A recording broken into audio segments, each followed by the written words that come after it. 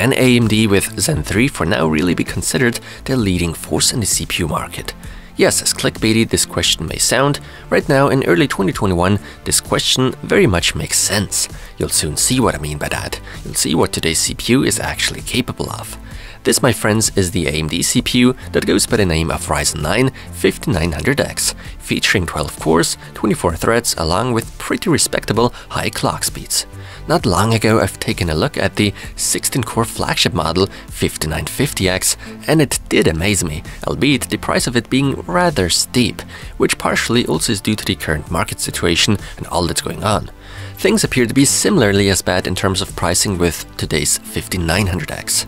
Yes, my dear friends, at the time of making this video, we are easily talking of 730 US dollars for this 12 core.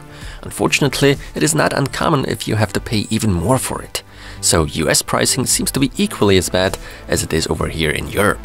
We are light years away from realistic prices, and I would strongly advise against paying too much. According to AMD, the MSRP should be $549 for the 5900X. However, we simply cannot blame the current situation in the industry for everything. AMD is somewhat part of it too.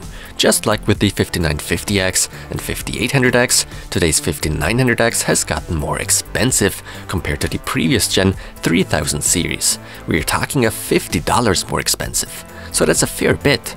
The 3900X's MSRP was at $499, whereas for the 5900X, you officially have to shell out 549. Oh well, enough complaining about the price, let's hope things improve over the next few months. In today's video, the Ryzen 9 5900X will not only show what it's capable of achieving, but also how well it stacks up against the flagship model 5950X, as well as Intel's current flagship. Let's get into it. A huge thank you goes out to the Spartan warrior named Georgios over at the hardware shop Equipper. He got me the whole Ryzen 5000 series at launch, more or less. For your information, it is me who's to blame for bringing you these reviews so belated. I wanted to invest a lot of time to finally make the switch to a newer, better CPU and GPU testing platform. That system will give us better results, thus better answers, and I think it was totally worth the sheer amount of work. As was the case with the 16-core, the 5900X also does come with the usual accessories, practically none. No sign of any cooling solution anymore, which does make sense however. Now as I've already said in my 5950X review, there are some fundamental changes to Zen 3 over Zen 2, ones that have a significant impact on performance, especially when it comes to gaming. Short and sweet, AMD now has parted ways with their 4-core CCX layouts. A 16-core SKU therefore now only consists of two 8-core dies, and those share a large 32MB level 3 cache pool respectively. But how do we actually achieve 12 cores if there are only 8 core dies in use? In theory, we therefore could either go with only 8 cores or the full 16 core layout. Simple, for the 5900X AMD indeed does make use of two 8-core dies. Two cores simply have been disabled per CCD per 8-core die respectively, so those two dies still have super fast access to the 32MB of L3 cache respectively. In total there's 64MB to work with, just as with the 5950X flagship. So very very good performance should certainly be expected. Furthermore, AMD promises a whopping 19% IPC performance uplift over Zen 2.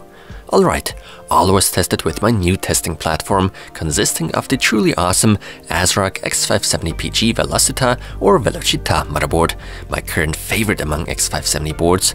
As for cooling, I'm using the trusty Deepcool Castle 240EX AIO liquid cooler, and for the graphics card, to minimize GPU bottlenecks, I've gone with the mighty yet super expensive Nvidia RTX 3090, the one by ASUS, the TUF Gaming Edition. Let's talk clock speeds. When stressing all 12 cores, we are looking at a clock speed of slightly over 4400 MHz.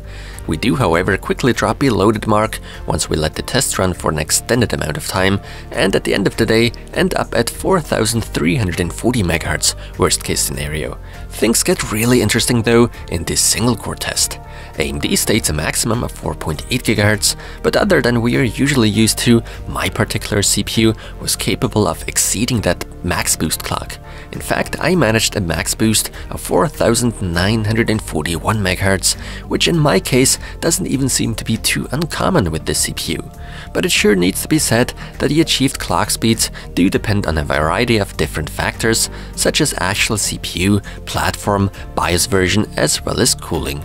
In-game in Shadow of the Tomb Raider, my 5900X on average gets to a max of 4700 or 4800 MHz. But I don't want to drag this video out any longer, let's get to the juicy bits, the benchmarks. Enjoy!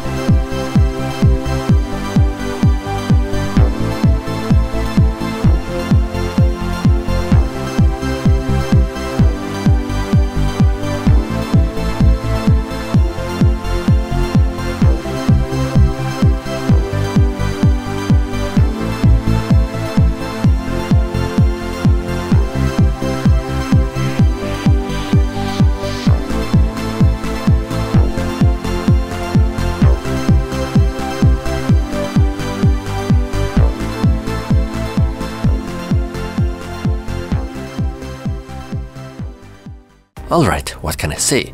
From a technical point of view, AMD delivers big time with this one. Without any doubt, with Zen 3, there are massive performance gains to be witnessed, going almost as far that in productivity applications, the 5900X 12-core gets dangerously close to the 3950X 16-core. To be fair, not in every instance out there, but there certainly are a few programs where this applies sometimes even with the 5900X coming out on top, which is really impressive since it comes with 4 less cores. Now if we are already taking the 3950X into comparison, it's logical the direct predecessor 3900X gets left behind in the dust by the speedy 5900X. The sheer amount of performance gains is immense and not something we usually get to see coming from one generation to another. I'd like to point out though that all tests were carried out with PBO Precision Boost Overdrive disabled. So if you'd like to get even more out of your CPU with the help of AMD's overclocking feature, the doors are open for you as long as power delivery and cooling is adequate. What can I say about the gaming performance? Well, Intel's 10th gen CPUs are getting cornered. If you're asking me, AMD now have finally caught up with Intel in terms of gaming performance.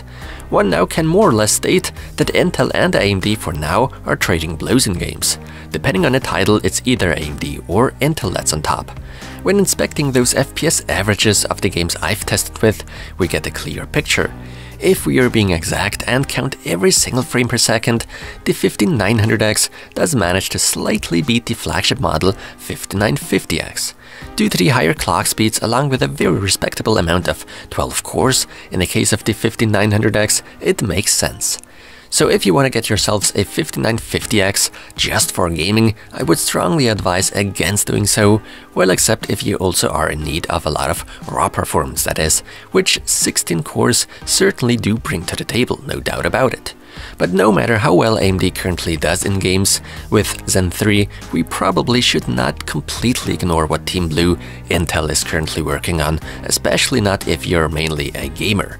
Because if recent rumors can be trusted and turn out to be true, we could be getting even better gaming performance with Intel's upcoming new chips.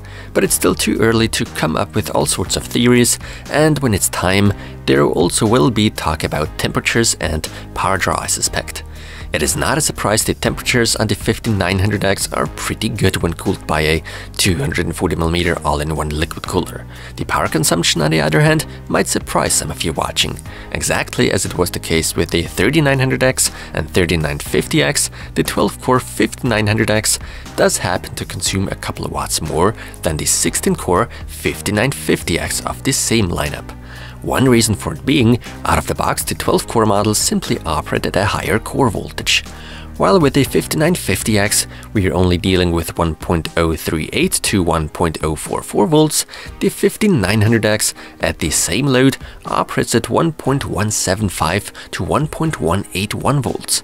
My summary, the AMD Ryzen 9 5900X with its 12 high clocking efficient cores not only is a great choice for demanding rendering activities, but for gaming as well.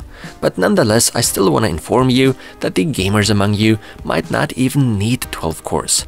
A Ryzen 5800X or even 5600X could at the very end of the day end up being the much better choice from a price to performance perspective. Those of you, however, that don't want to spend as much money on a CPU, such as the 5950X for the offered raw performance, have no reason to feel bad about going with the Ryzen 9 5900X. It's an extremely powerful CPU that now is able to keep up with the likes of the previous gen mainstream flagship such as the 3950X when it comes to performance in multi-threaded applications.